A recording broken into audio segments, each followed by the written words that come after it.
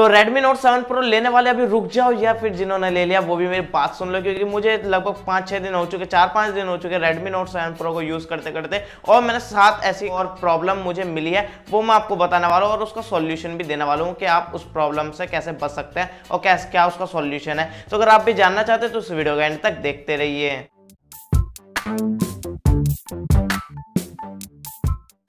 तो मेरा नाम है कुलभूषण और आप देख रहे हैं के के तो Redmi Note 7 Pro मुझे पता है भाई, इस प्राइस में सबसे बढ़िया स्मार्टफ़ोन है। अभी तक ऐसा कोई स्मार्टफ़ोन नहीं है। लेकिन कुछ प्रॉब्लम्स है, लेकिन उनका मैंने सॉल्यूशन भी ढूंढ लिया है, जो आपको फ़ोन लेने के बाद ही ये प्रॉब्लम मिलेगी। और इससे पहले मैंने एक और वीडियो बना रखी है, जो रेडमी नोट सेवन प्रो में मुझे कमियाँ लगी थी। वो आप देख सकते हैं। लेकिन इसमें जो मैं वीडियो में बात करने वाला हूँ, वो आपको फ़ोन यूज़ करने के बाद आपको वो प्रॉब्लम्स मिलेगी। और तो पहली प्रॉब्लम तो ये है कि इसकी स्क्रीन जो है वो फ्लिकर होती थी, अब नहीं करती है। क्योंकि इसकी जो स्क्रीन अगर आप इसकी लोएस्ट ब्राइटनेस पर कर देंगे, अगर इसकी ब्राइटनेस बिल्कुल ज़ीरो कर देंगे और कुछ व्हाइट पेज पड़ जाएँगे या फिर स्क्रीन पर आपका व्हाइट कुछ इंटरफेस चल रहा है तो आप उसमें आप एक्सपीरियंस करेंगे कि उसमें स्क्रीन जो फ्लिकर हो रही है, फड़फड़ करती है स्क्रीन तो ये कुछ हार्डवेयर वगैरह में इशू नहीं था, एक सॉफ्टवेयर प्रॉब्लम थी जिसकी वजह से ये प्रॉब्लम हुई थी। तो ये मी यू आई में प्रॉब्लम थी, जिसके बाद अपडेट आया टेन का और उसमें ये प्रॉब्लम सॉल्व हो गई थी।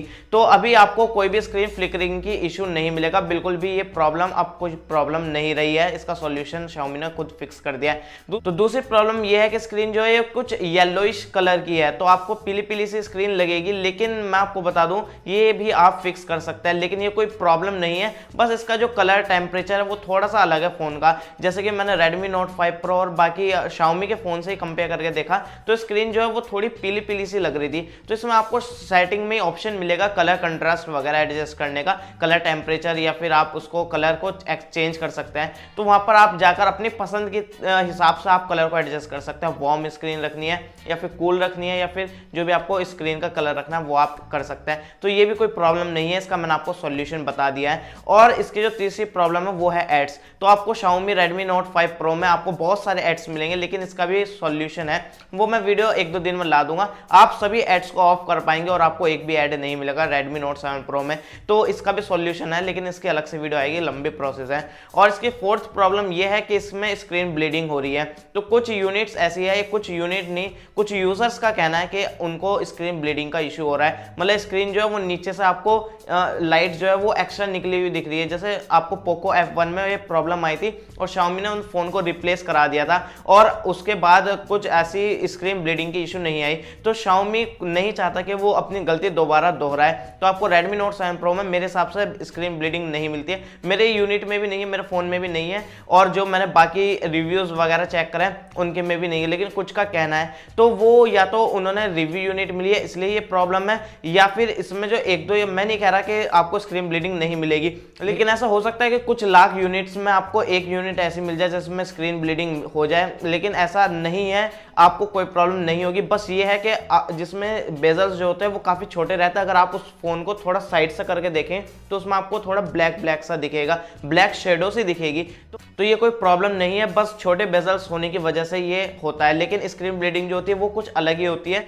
तो आप उसको स्क्रीन ब्लीडिंग मत समझना। अगर आपको होती भी है तो Xiaomi उसको रिप्लेस करा देगा, ऐसी कोई प्रॉब्लम नहीं है। आपको दूसरा फ़ोन मिल जाएगा उसके बदले में। लेकिन ऐसी कोई प्रॉब्लम मेरे हिसाब से तो है नहीं। अब मैं पांचवी प्रॉब्लम की बात करूँ तो वो है वाईफाई एंड हॉटस्पॉट तो रेडमी नोट फाइव प्रो में वाईफाई और हॉटस्पॉट दोनों हम एक साथ यूज़ कर सकते थे, जिसकी वजह से हम अपने फ़ोन को as a wifi repeater use कर सकते थे। लेकिन इसमें ऐसा नहीं होता। आप एक टाइम पर या तो वाईफाई यूज़ कर सकते या फिर हॉटस्पॉट यूज़ कर सकते हैं। दोनों एक साथ यूज़ नहीं कर सकते। तो रेडमी नोट फाइव प्रो में काफ़ी कमाल का फीचर था। लेकिन इसमें नहीं है अब मैं नहीं जानता ये स्नैपड्रैगन सिक्स थर्टी सिक्स में आपको ये फीचर मिलता था। लेकिन सिक्स सेवेंटी फाइव में ये मिलता है नहीं मिलता, मैंने इस पर ज़्यादा रिसर्च नहीं करी है। और मैं भी यही सोच रहा हूँ कि आप, मेरे हिसाब से आप दोनों चीज़ एक साथ यूज़ नहीं करते होंगे। लेकिन हाँ कुछ लोग होंगे जो यूज़ करते हैं। तो भाई, इसका भी फ़िलहाल सॉल्यूशन ये हो सकता है। कि आपको सिस्टम अपडेट के थ्रू हो जाए, अगर हार्डवेयर सपोर्ट करता है तो।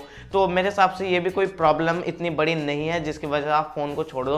और सिक्स प्रॉब्लम जो है, वो है वाइड वाइन एल का सपोर्ट तो रेडमी नोट सेवन प्रो में आपको वाइड वाइन एल का सपोर्ट मिलेगा। मतलब आप नेक्स्ट नेटफ्लिक्स और हॉटस्टार और अमेजोन प्राइम वगैरह पर HD कंटेंट देख सकते हैं। लेकिन अभी आप कुछ एप्लीकेशंस वगैरह चलाएँगे, जैसे नेटफ्लिक्स वगैरह तो लोगों का कहना है कि वो HD में नहीं देख पा रहे हैं 540p पर ही देख पा रहा है। लेकिन Xiaomi ने इसका भी फिक्स कर दिया है। अपने लेटेस्ट अपडेट में आप अपने सॉफ्टवेयर को अपडेट कर लो। फिर बाद में आपको वाइड वाइन एल का सपोर्ट तो शुरू से था ही। लेकिन अब आपको नेटफ्लिक्स अमेजोन प्राइम वगैरह, उसमें भी आप HD कंटेंट देख पाएँगे। आपको कोई प्रॉब्लम नहीं होगी। और लास्ट प्रॉब्लम जो है, वो है कैमरे में लैग तो अगर आप कैमरे में स्विच करते हैं पोर्ट्रेट मोड से फ़ोटो में जाते हैं फ़ोटो से वीडियोस में तो उसमें लैग होता है, काफ़ी टाइम लगता है फ़ोटो कैप्चर करने में टाइम लगता है कभी कभी कैमरा स्टॉप हो जाता है तो अब कुछ भी प्रॉब्लम नहीं रही है, जैसे लेटेस्ट अपडेट्स आए हैं तो अपडेट के थ्रू ये प्रॉब्लम भी सॉल्व हो चुकी है। इसमें कोई ऐसा लैग वगैरह का आपको इशू नहीं मिलेगा।